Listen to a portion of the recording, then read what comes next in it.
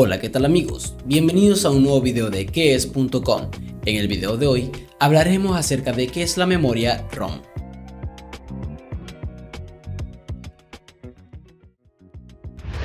Cuando comenzamos a trabajar con la arquitectura del computador, los técnicos en programación hacen énfasis en la memoria ROM.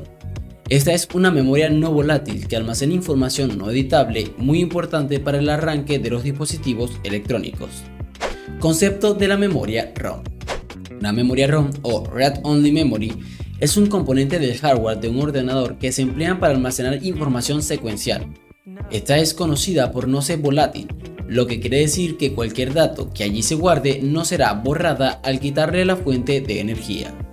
El contenido de estas pueden ser solo recuperable, pero jamás borrable o editable, gracias a que poseen información básica del sistema operativo. Sin esta, lo más seguro es que el ordenador no arranque, puesto que los datos fueron colocados de manera directa por el fabricante. Esta memoria se instala en la tarjeta madre de los dispositivos, por el hecho de que almacenan la información básica de la BIOS o del equipo, logrando que así inicie como se debe. ¿Qué es la memoria ROM de una computadora? En un computador, la memoria ROM es aquella no volátil que guarda la información inicial para que un ordenador pueda encenderse. Esta se almacena de forma permanente en un chip y no permite ninguna modificación. Asimismo, no depende de la corriente eléctrica para su funcionamiento, logrando así que no se borren los datos cuando la computadora se apaga. De hecho, por el contrario, usan el código binario para prevalecer.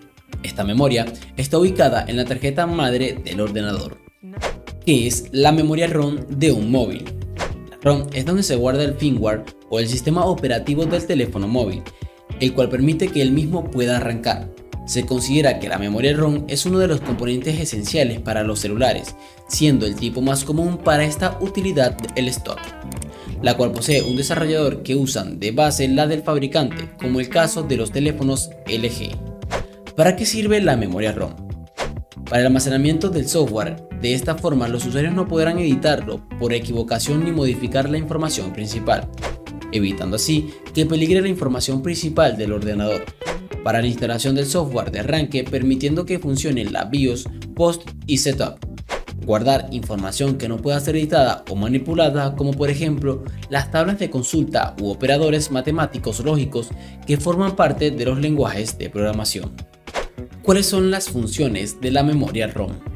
La memoria ROM sirve para el correcto funcionamiento de cualquier dispositivo que haga uso de sistema operativo y un círculo integrado. Mediante el uso de este tipo de memoria se logra que las máquinas puedan comenzar sus operaciones básicas, permitiendo así encender el equipo y utilizarlo con completa normalidad. Además, tienen la tarea de guardar dentro de sí el sistema operativo, como es el caso de Windows o el firmware de un celular conteniendo entre sus datos los programas necesarios para que trabaje de forma normal, encontrándonos también a las tablas de base numéricas, las secuencias de encendido o apagado, etc. Asimismo, tiene el trabajo de hacer las rutinas de control de los periféricos del equipo. Si el video te sirvió de ayuda, déjanos un fuerte like. Además, si tienes otro tema interesante para traer a este canal, déjalo saber en la caja de comentarios. Adiós.